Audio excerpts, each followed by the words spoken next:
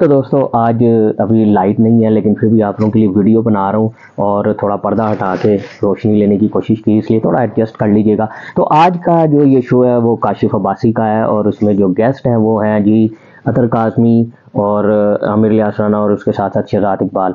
तो बात इसमें छिड़ गई थी जो लंदन फ्लैट्स की, जो नवाज़ शरीफ साहब के जिनके ऑनर है और इन्होंने कहा था कि हम ऑनर नहीं है, हमने किराए पे लिए हुए तो इस पर इन तीनों ने मिलकर ऐसी क्लास लिया आमिर इलास राना की कि बस मज़ा आ गया। तो आइए पहली वीडियो देखते हैं फिर पे बात करते हैं।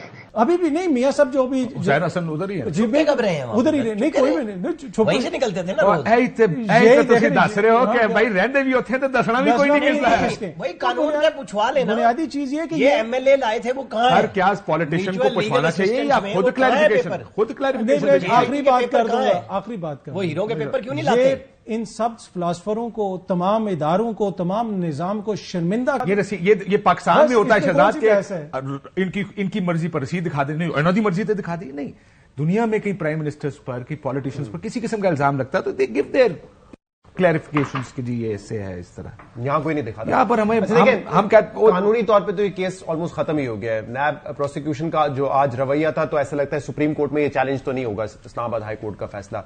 सियासी तौर पे सवाल एक ज़रूर रहेगा जो आपने भी अपने इंट्रो में उठाया कि ये मिल्कियत में कब आए। इसमें कोई शक नहीं है कि शरीफ फैमिली ने इसकी मिल्कियत छुपाई है। जितने बयान आते हैं वो इसको बड़ा वाजे करते हैं चाहे बीबीसी की डॉक्यूमेंट्री हो हसन नवाज़ का बयान हो कि हम रेंट पे रह रहे हैं मिल्कियत छुपाई। बीबीआई का कानून चेंज हुआ, जब इनके नाम पे ऑफिशियली ट्रांसफ़र हुआ, पनामा में आ गया तो इनको इंटरव्यू देने पड़े। उनको पता था पनामा पेपर्स आने वाले सवाल पूछे थे साफियों ने तो उनको इन्होंने इंटरव्यू देकर इसकी ओनरशिप को उस वक्त एक्सेप्ट किया। अब दो तीन बातें बड़ी अहम है। एक तो कानूनी सुकुम, इस केस में सबसे बड़ा तो यह था कि आमतौर पर करप्शन केसेस में ट्रायल नीचे से शुरू होता है। ट्रायल कोर्ट होता है, हाई कोर्ट होता है, सुप्रीम कोर्ट होता है। यहाँ पे आज भी जो बात जेरे बहस आई नैब ने कह दिया, ये तो सुप्रीम कोर्ट ने कहा था तो हमने अपनी इंक्वायरी इन्वेस्टिगेशन पे रेफरेंस नहीं बनाया, सुप्रीम कोर्ट के कहने पे बनाए तो हम तो बेबस थे। तो मेरे ख्याल से एक तो ये कानूनी गलती थी। दूसरा, जो प्रोसिक्यूशन की कमजोरियाँ थी, वो बड़ी वाजे थी। ना उन्होंने नवाज़ शरीफ की आमदनी के का तखमीना लगाया कि कितनी रही इतने सालों में, ना उन्होंने फ्लैट की वैल्यूशन लगाई, इसलिए वो एक जो सुकुम था, वो इस फैसले में था। दूसरा, उन्होंने ये भी नहीं साबित किया कि क्या एसिड बियॉन्ड मीन का अगर मामला है तो करप्शन की वजह से है या नहीं? क्योंकि करप्शन पे इस केस में जज बशीर साहब थे ना उन्होंने उनको बरी कर दिया था कि करप्शन का कोई एलिगेशन साबित नहीं हुआ।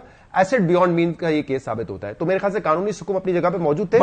तो है- और, दूसरा बीवीआई का कानून। मुझे लगता है देखें इस केस को सही तरह मेरिट पे सुना नहीं गया। शायद अगर ट्रायल कोर्ट में मेरिट होती देना मकसद था।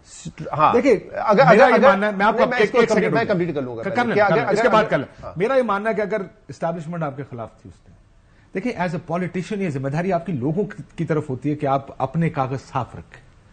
ये, आप ये कह रहे हैं, क्योंकि एस्टैब्लिशमेंट ने निकालना था इस वजह से, क्या मियाँ साहब की, क्या मियाँ साहब का केस ठीक है? आज भी क्या आप, मैं आपसे पूछ रहा हूँ, और आपको पता नहीं है कि मियाँ साहब ने अपार्टमेंट कब खरीदे हैं। आप भी निसार साहब को कोर्ट करें, हालाँकि ये तो सारों के सामने होना चाहिए था। और ये हुसैन नवाज़ जो बेटा है, जिस, जो मालिक है वो ये कह रहे हैं मैंने 2006 में खरीदे और आप बैठ के यहाँ पे कह रहे हैं तिरानवे चौरानवे में खरीदे। This is the biggest problem है इसके शहजाद को खत्म छियानवे नहीं आप जहन में रख ले। मैंने निसार का नाम कोट किया। जब मैं यही तो कह रहा हूँ अगली यही तो प्रॉब्लम है। आप बेटे को कोट नहीं कर रहे जिन्होंने खुद अपनी डेट्स बनाई है। आप तो निसार को कोट कर रहे फ्लैगशिप का अकामा निकाल के सजा दी। सुप्रीम कोर्ट ने। पाकिस्तान के कानून से भी हटके ब्लैक लॉ डिक्शनरी में और फ्लैगशिप रेफरेंस आज वो भी वो गलत हो था ना जी। है। लेकिन इस केस में? कम अज कम पॉलिटिशियन की हमारा आज ज़िम्मेदारी एक तो बंदा ज़रूर हो। रहा है आज उसको आप फिर कि अपने वोटर्स को आप जवाब देते हैं। मैं- अगर मुकम्मल करूँ, Kashif this is money trail this is एक तो मुझे लगता है ट्रायल में सुकुम भी थे गलत तरीके से केस चलाया गया केस नीचे से शुरू होना चाहिए था दूसरा ये बात तो बड़ी वाजह है कि उस वक्त इंटेंट ये नहीं थी कि केस की मेरिट पर फैसला आना है। इंटेंट ये थी कि नवाज़ शरीफ को सियासत से हटाकर डिस्कालीफाई करके सजा दिलवानी है। और जब जब ऐसा होगा आपके केसेस खराब होंगे। ये पाकिस्तान की तारीख भरी पड़ी हुई है कि कोई केस मेरिट पर स्ट्रांग होता है लेकिन क्यों किया जाता है तो उस पर आप बरी हो जाएँगे। ये भी देखा गया है कि केस अगर मज़बूत ना हो लेकिन क्योंकि सियासी इंतकाम कर रहे हैं तो उसमें आपको सजा भी हो जाती है। बेगुना लोग जेलों में रहते हैं। शबाज शरीफ वाला केस होनी थी। जी, अभी आप कह दें हैं कि जनाब वो झूठा केस है लेकिन ये नहीं पहले वो नैब से क्लियर हुआ। एफ़ आई ए में डाल दिया। वही शहजाद अकबर साहब जो आजकल तेजाब वाली बात कर रहे हैं। वो F I A F I ए कितनी पेशियां- कितनी उन्होंने सात मरतबा अपनी- जब उन पे clarification- पर्चे आए ना उसने कहा ये पर्चे यूएसबी में शहजाद अकबर ने लाके डाले हैं। एफआई ने तो बनाए नहीं थे केस। नैब से उठाए जहाँ कैमरे लगा के वो मरियम नवाज़ पे और सब पे लाहौर में पैसे थे। क्या पैसे रोटेट हुए? क्या उस वो सारी ट्रांजैक्शंस हुई? इससे इस पे कहना कि हुई नहीं है। आप ये कह रहे हैं कि शहजाद अकबर ने ये कर दिया। ये कहे कि जी ये ट्रांजैक्शंस नहीं हुई। ये आप नहीं कहते। से शहजाद मैं केस डाल दिया मैंने ये बात की है। बट फैक्ट शहबाज शरीफ के केस पे। हम डबल नहीं कर सकते आई अंडरस्टैंड कभी दिल करता हम प्रोसीजर्स देखते हैं। सबका हम सबका प्रॉब्लम जब दिल करेगा आप प्रोसीजर देखेंगे। हर किसी के- जब दिल करेगा आप फैक्ट्स देखेंगे। दिस इज़ आर प्रॉब्लम है फैक्ट्स पे तो रह जाते हैं ना। से सजा दिलवा लेते हैं। से कशर एफआईए में ना जाते। कोई एक एक मिसाल नहीं है। अभी इमरान खान से सबने कहा कि आप रसीदे रसीदें मांगते थे आप घड़ी की रसीद दे दे घड़ी की रसीद नहीं है। क्योंकि एक बहस है ना कि दो मिलियन पाउंड दो मिलियन डॉलर या बीस मिलियन डॉलर में खरीदी या पाँच करोड़ में बेची वो भी रसीद नहीं देते। तोशा खाना के मामले में कोई रसीद नहीं है यहाँ पे भी कोई रसीद नहीं मेरे ख्याल से ये वो रसीद है सियासतदान कच्ची रसीद है। वो- रसीद तो ना वो- क्या मेरी तो इतनी औकात ही नहीं जितनी की रसीद है। वो रसीद और कतरी खत में ज़्यादा फ़र्क यही बैठ गया। के हसन अयूब साहब ने इसी प्रोग्राम में क्योंकि उससे शफीक के साथ उनकी डीलिंग चलती रही उन्होंने मेरे प्रोग्राम में आगे कहा था कि यार पाँच करोड़ अस्सी लाख रुपए की खरीदी गई थी। उस रसीद उससे ज़्यादा मेहनत तो कतरी खत में हो गई थी वो रसीद तो मतलब क्या उसकी वैल्यू होगी?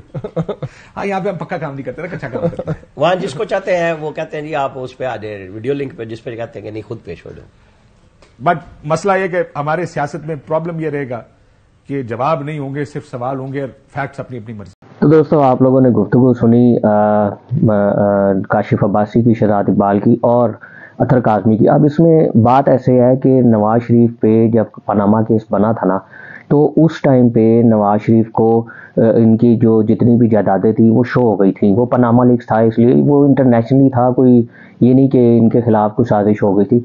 इंटरनेशनली ये केस बना था। तो नवाज़ शरीफ को, के बेटों ने भी इस चीज़ को मान लिया कि हाँ जी, हम हम इसको ऑन करते हैं, हमारी बेटी बहन ऑन करती यानी कि मरियम नवाज़। मरियम नवाज़ वो वो खातून है जिन्होंने ये कहा था कि मेरी लंदन पाकिस्तान से बाहर तो क्या, यानी मेरी पाकिस्तान में भी कोई जदाद नहीं है।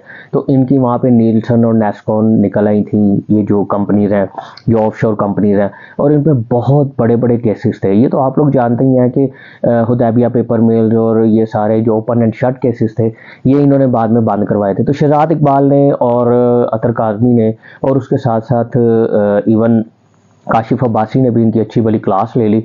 आमिर इलियास राना जैसा कि ये लगता है कि ये ना नून लीग के पे रोल पे है। ये बात ही उनकी करते हैं। तो ऐसे बंदे को बायस भी नहीं होना चाहिए। तो व्यूअर्स आपका इस वीडियो के बारे में क्या ख्याल है? अपनी राय के साथ कमेंट बॉक्स में ज़रूर कीजिएगा। मिलते हैं नेक्स्ट वीडियो में। तब तक लिए हाफिज़।